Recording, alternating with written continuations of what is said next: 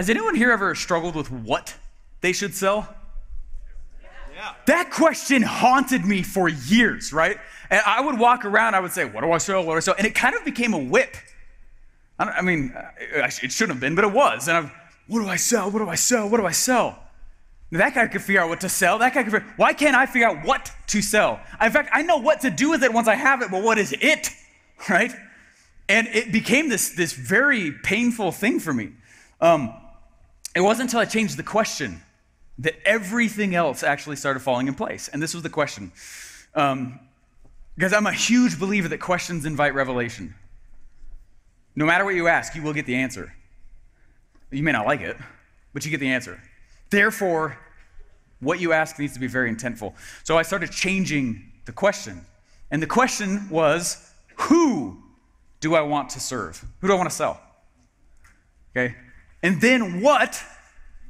I'm sorry, how much do I want to get paid for that? You know, there's been a lot of times where uh, we would create an offer at ClickFunnels and we'd, you know, we'd have a, a huge event coming up or, or we'd create a lot of campaigns around stuff and people would be showing up and Russell and I would be like, okay, what should we sell? Like the night before. and it was always fascinating to me. I thought the way you chose price was based on some, like, you know, formula, some algorithm, something like that. And there's some, like, guidelines around it. But he, no joke, would stand up and go, you know what?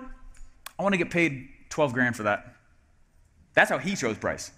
He said, I'm not, wor- I'm not, as he's like, I'm not even willing to get out of bed for that solution because it's good until someone pays that much money. Or like with his inner circle, He's like, you know what? Ah, it's got to be 50 grand now. There's just there's so many other things that cause my time, so many things that I need to put my time to, that for me, it's not worth it. So, how many of you guys know what you want to get paid? You just said how much your financial goal is. But if the actual product, one of the things that I found is that people will sit back and they think, well, this is what everyone else is charging, therefore I must also blank. Just Choosing a higher price is one of the easiest ways to gain attention. Can you believe that guy? Look how much he's charging, right? You know what I mean? And suddenly it's like free eyeballs, right? And just choose how much you want to get paid. Just choose it. Just boom, this is how much I want to get paid. Okay? This is how much I'm willing, uh, at that price level, I'm now willing to fulfill that. Does that make sense? Anyone else, did anyone just give themselves a raise? who, who just went up in their price points? I can't remember who it was, but they said like you can literally increase your price by 10% and lose like 10% of your customers, and you're still gonna make more money. It just they're gonna pay it.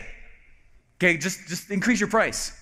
And uh, you'll be shocked how many people actually not only pay it, but how much a more willing and able and um, progressive customer you actually attract to you, okay, by charging more. When I got really, really serious on who I want to sell, and what price point I'm willing to get out of bed for. Not that I hang out in bed, but you know what I mean. I don't. Okay. That's when I figured out what I should sell. It's actually from the customer. And the mistake I was making was that I was like, well, what do I sell? What I need this prolific idea. College told me to do this. I need this prolific idea on what to sell. I'm not the one buying it. I shouldn't be asking me. right? And that was the big issue. I got to turn around and instead say, who do I want to sell, sell? Who do I want to serve? Who do I want to spend time with? I love hanging out with you guys. You know what's funny is at Funnel Hacking Live, I totally get stressed out now. Because I get stalked and followed all over the place. Around you guys, I'm like, I feel totally calm. I'm like, you're my people, man. Like, I love hanging out with you. But I won't go to Funnel Hacking Live without a bodyguard anymore. And uh, anyway, it's good to be here. I'm glad you guys are all here. okay. But that's it's a testament to what I'm telling you, though. What I sat back and said is, who do I want to serve? And then the rest of it kind of falls in place. So we're actually going to focus on the who uh, right here. Who do I want my customer to be? Um, there was a, uh, a lady that reached out. Some of you guys have heard this story. It's probably a year and a half ago. Steven, I'm looking at your product right now. What ROI can you guarantee me? I was like, what? Huh? Quote, and uh, she goes, like, if I bought it, how much will you guarantee that I make? I was like, what are you talking about? Nothing. I don't know you at all. Right? And even if I did, I'm not responsible for your success. Ouchie. This program probably isn't uh, a good fit for you. That's what I told her. She goes, Are you serious? I was like, Yepers, you fired, right? I fired her, right? You can do that. You don't, the customer is not always right. I, whoever said that got straight A's in school and they have never made a dollar, okay? That is a dumb statement. Dumb statement. The customer is not always right. Okay? You are providing a solution. There, it's an exchange.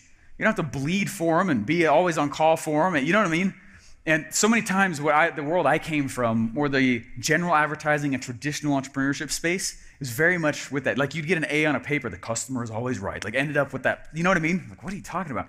Okay, the way I bring somebody into my product greatly determines, okay, uh, uh, what they do with it and their success rate post purchase. If I have to beg my way through the sale, I will beg my way through their using it. The way that you bring the way you bring them into your product greatly determines your relationship with them afterwards. Greatly pre-stages what they're going to expect from you as well. If I have to beg, I will beg in fulfillment. Okay? That's why I if she's already asking that, you're not a good fit for this. I don't care if you have the money. That's not a qualifier for me anymore. Hey, I don't care if you have the money. That's what I'm talking about. You fired. Okay? Um, I am not the funnel. That's the reason why. You're not the funnel. I'm not the funnel. I'm not, if, if what I do is I set up a sales system or a funnel, and then I step back and I watch it. And I, I, I don't fall in love with my baby, right? And I look at it like, oh man, she's asking that kind of question. And this is what happened after that conversation. I went to my team and I said, we got to upgrade our customer a little bit here because and it's, I'm not, you know, I'm not trying to be rude. It's just from my eyes and for the type of person that was going to bring in, they're not in a place in their life where they're probably going to be able to execute what I tell them to do. Therefore, success rate will drop. Everyone's not going to be as happy, and it'll make me look like I don't know what I'm doing on this. Right? It actually massively affects the success rate of my product. You need massive uh, clarity on the who, because I'm not the funnel. You're not the funnel. The funnel's the funnel, right? You're just building it. You're building a sales message and an offer. And if I am highly involved in every single transaction, I'm not like high ticket, I totally get that. They might need a phone call. But even then, I'm not involved with it. I created the system that sells. Okay? And I wait for the right who. Customer education um, uh, is the secret to finding your dream